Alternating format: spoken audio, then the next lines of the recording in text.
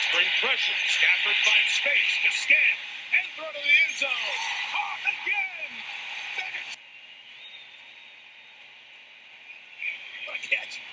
After the bell run. The gun. Roethlisberger steps up. On time. Antonio Brown. Fake it to him. Brees. Pressure coming. And he unloads at Thomas and makes a nice spin move and enough for a first down. Throw again. This time with his near side.